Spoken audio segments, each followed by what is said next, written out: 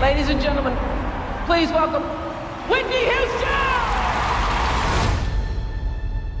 A common criticism of you, your music isn't black enough.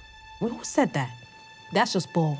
And it makes me angry, actually. It's hateful and uninformed. My whole life, she ain't black enough, she ain't white enough. Well, how about she's not obedient enough? How about she ain't fearful enough? Music is not a color to me, it has no boundaries. I sing what I want to sing, be how I want to be, and reach as big an audience as I can. No one is like you. You can sing. Whitney, your daddy's princess.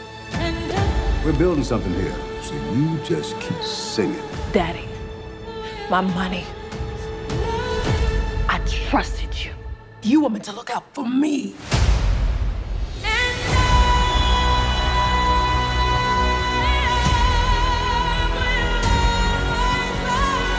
Two have spent a lot of time together. It's damaging the brand. Since when did a little girl become the brand? I miss that.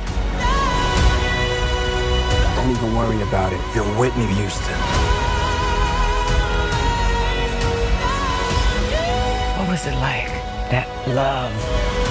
Millions of people.